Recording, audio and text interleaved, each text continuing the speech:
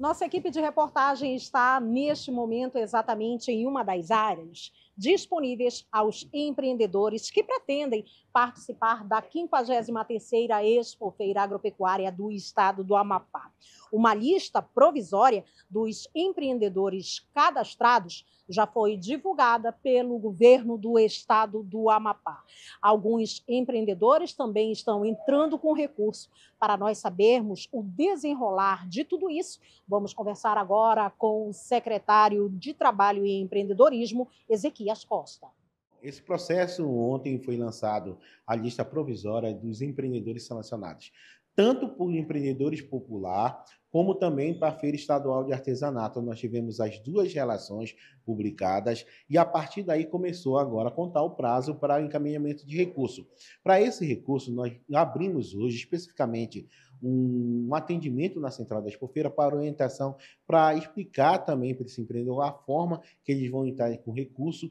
E a partir de amanhã esse recurso será analisado pela comissão, pelas duas comissões que estão avaliando os, os, os editais de chamamento público.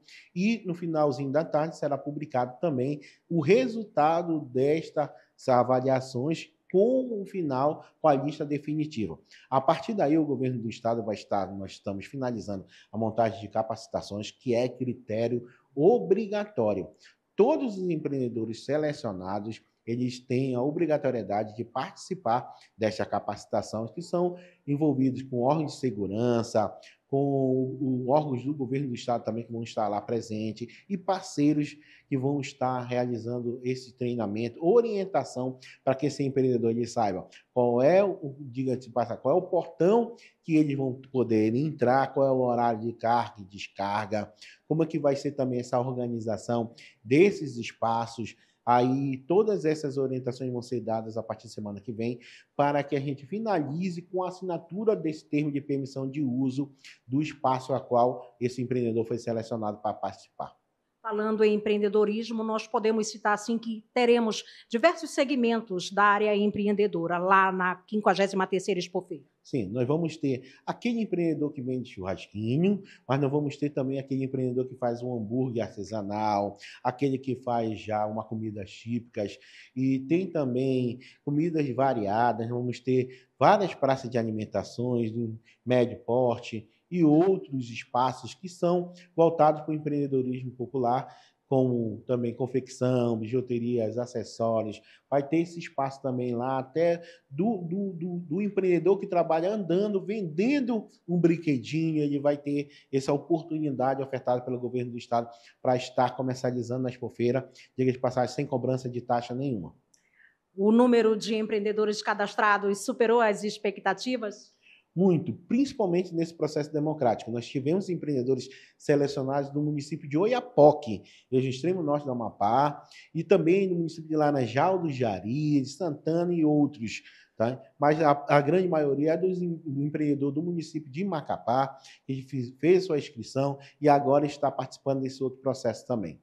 Esses empreendedores selecionados, eles terão também que seguir diversas etapas, né? Sim, nós vamos ter Neste momento é o processo ainda da definição, depois nós vamos ter justamente uma orientação prévia, porque tem, tem, vai ter uma oportunidade do empreendedor que ficou em cadastro de reserva, poder também ficar, se caso o empreendedor que foi selecionado não participar do treinamento, a gente pode convocar esse empreendedor que ficou em cadastro de reserva para vir participar da expofeira também. Onde encontrar a lista dos selecionados e todo esse processo?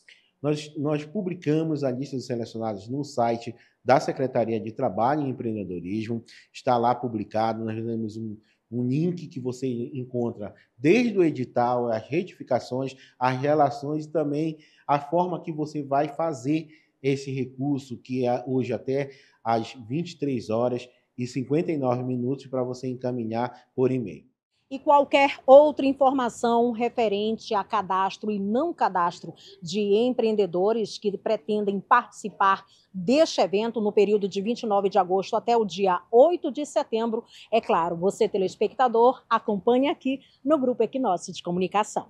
Vou me despedindo, volta com você.